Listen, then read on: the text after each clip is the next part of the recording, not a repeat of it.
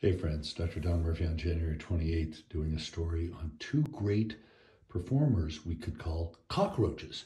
So from yesterday's paper, a lively market for indie cinema.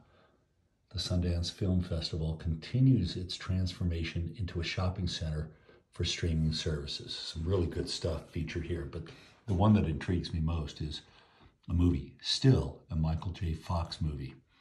Michael J. Fox says, I'm a cockroach notes Mr. Fox, and I've been through a lot of stuff. You can't kill a cockroach.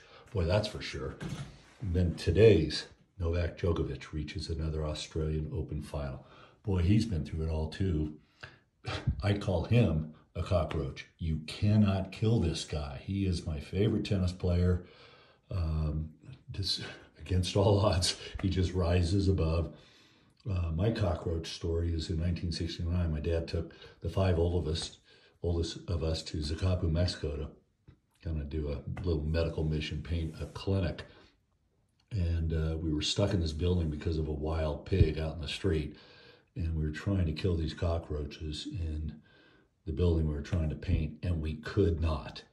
Uh, so I like cockroaches.